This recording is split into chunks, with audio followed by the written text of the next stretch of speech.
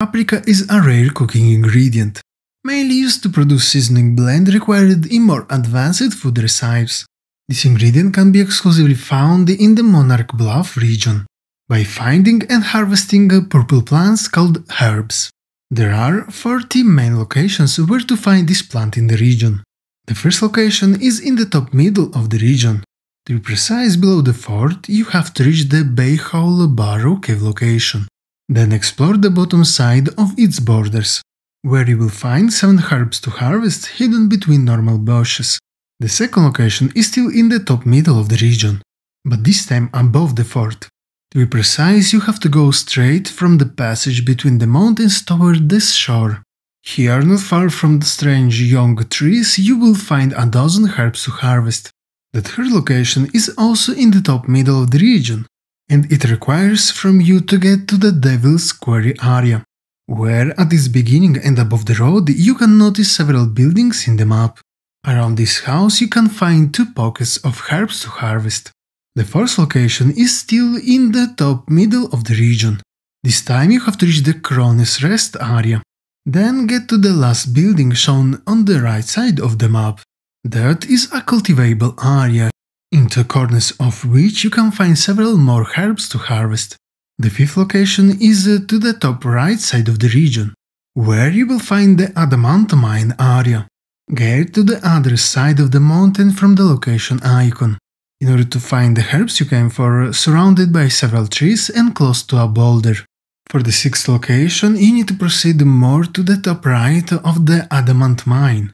Before reaching the crossroad shown in the map, you can find and harvest two large herb deposits. The seventh location is all the way to the bottom right side of the region, where you have to check exactly in the middle between the Aruda Range and the Willets Homestead, where you will find a small peninsula surrounded by the river. At the beginning, hidden between regular bushes, you will find a few herbs to harvest. The eighth location is in the bottom left side of the region, where you have to use the road between the mountains that leave the region.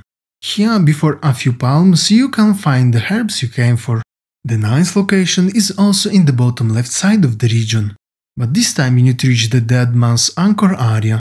Close to the green area, below the first boulder shown in the map, you can find a dozen of herbs surrounded by the palms. The tenth location is all the way to the top left side of the region, where you will find the fort above an island. In the bottom right side of this island, just after crossing the mountain pathway, you will find over 7 pockets of herbs to harvest that will have uh, on average 5 plants in each. The 11th location is also in the top left side of the region, but this time you need to explore the first green area above the fort, where you will find a huge tree around which a dozen more herbs can be harvested. The 12th location is in the same area as the previous one. In this case you have to check the sand area above the second green one, where mixed with normal bushes you can find a pack of more herbs to harvest.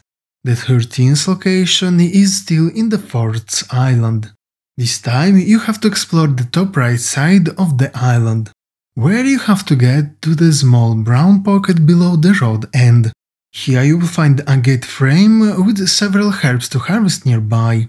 The 14th and the last location is also in the fourth Island, but this time above the third green area and slightly to the right from the only shores boulder shown in the map, where near the end of the green area you will find the last herb of this region you can collect.